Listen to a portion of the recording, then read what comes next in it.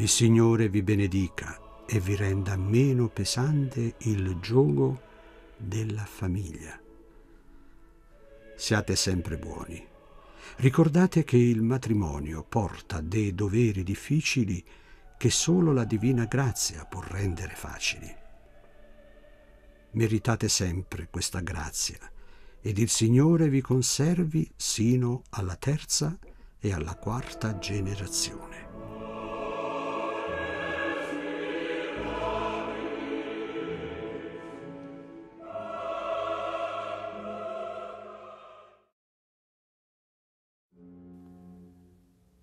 Carissime spettatrici e carissimi spettatori di Padre Pio TV, buona e santa giornata a tutti quanti voi.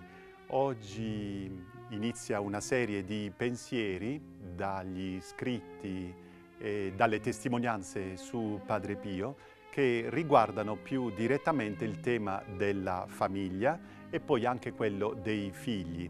Ci accompagneranno per il corso dei prossimi giorni e in modo particolare eh, Padre Pio parla del gioco della famiglia, cioè il peso che la vocazione eh, al matrimonio rappresenta per coloro che eh, responsabilmente l'abbracciano e la vivono. È un uh, pensiero ricavato dal diario di padre Agostino da San Marco in Lamis e una pubblicazione curata dall'infaticabile padre Gerardo di Flumeri, che è stato per tantissimi anni il vice postulatore della causa di beatificazione e canonizzazione di Padre Pio da Pietrelcina. Dunque oggi eh, vogliamo ricordare anche queste figure di fratelli che si sono tanto impegnati per diffondere non il culto uh, di un frate, ma per accompagnare tante persone verso il cuore del Vangelo sulle orme di San Francesco e dei suoi figli.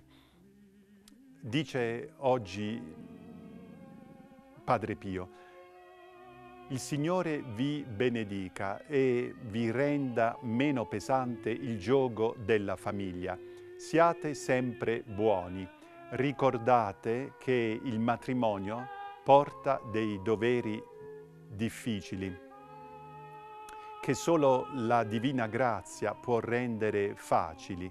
Meritate sempre questa grazia ed il Signore vi conservi sino alla terza e alla quarta generazione. Oggi facciamo la prova a ricordare tutti i coniugi che la Chiesa ha già voluto collocare sul candelabro, quelli che ha già beatificato, canonizzato. Eh, siccome è proprio il 14 novembre la festa di tutti i santi della famiglia carmelitana, per esempio facciamo la prova a ricordare i genitori di Santa Teresa del Bambino Gesù, Santa Teresa di Lisieux, che si chiamavano Zelia e Louis Martin. Sono stati dichiarati santi dal 2015. Abbiamo una bella processione, un bel corteo di santi che hanno ritrovato proprio vivendo questa vocazione una strada speciale per eh, la propria santificazione. Anche nel nuovo rituale del sacramento del matrimonio viene riproposto questo stato di vita eh, come una via sicurissima di santità ai coniugi che si presentano in chiesa per celebrare le loro nozze, il sacerdote spiega esattamente questa strada, in che cosa consiste, come la si può percorrere e dove alla fine essa conduce. Vogliamo oggi chiedere al Signore una forza particolare, una energia ehm, nuova per tutti coloro che stanno attraversando un momento di crisi o di difficoltà.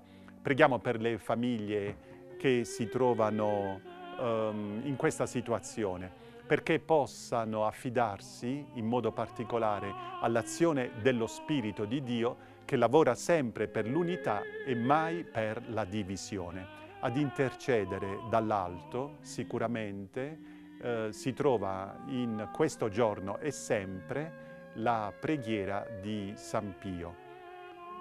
Il Signore vi accompagni nel corso di questa giornata. Pace e bene a tutti.